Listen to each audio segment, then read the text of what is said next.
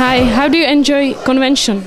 I've really enjoyed it. Um, it's really nice and intimate, and it's been great meeting all the fans. I love talking to everyone and hearing their opinions about the film. Um, yeah, I've, I've had such a great time. And how do you enjoy Prague? I love Prague. Um, yeah, from the moment I landed, um, I just fell in love with the city. Um, I really want to come back in the summer and, and have a chance to explore more.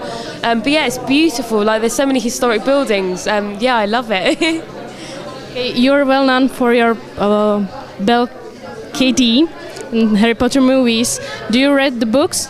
Yes, yeah, I was I was a big fan um, before I started filming.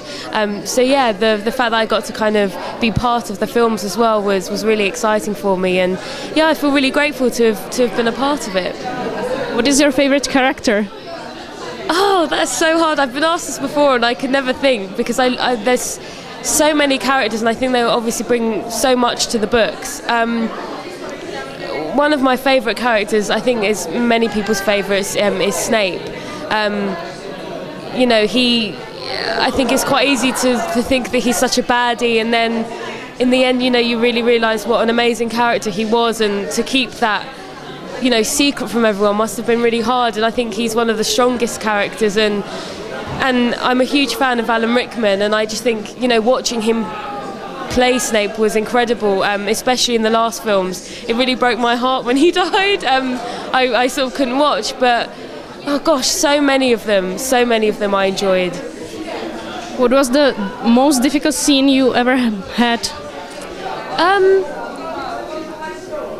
a difficult scene. Um, I, I really enjoyed all of the scenes. Um, I got to do a lot of stunt work um, for number six when I'm cursed, um, which was great fun. Um, the stunt team on Potter are incredible. Um, I have to give a massive shout out to them because they are just so, so good at what they do. Um, and because of that, I was able to really enjoy doing the stunts rather than kind of feel nervous about them um, so yeah, I mean, it was it was tough, like because it was quite physical, but um, I loved doing it. It was a great experience.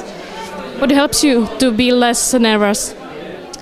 Um, I think being prepared. I think that helps people be less nervous. But also, I think once you've done it a couple of times and once you get onto set with any work, um, you just relax and you start to enjoy it.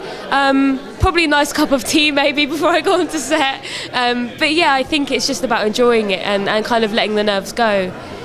I'm asking because we are television specialized for music. So I want to ask you, what do you like? What kind of uh, music do you like? Oh, I love all kinds of music. Um, my iPod just has all genres, all artists. Um, I really like uh, rock. I like folk music, pop. Um, there's a couple of French artists I like. Um, I like I like soundtracks as well. I've got a lot of soundtracks to films on my iPod.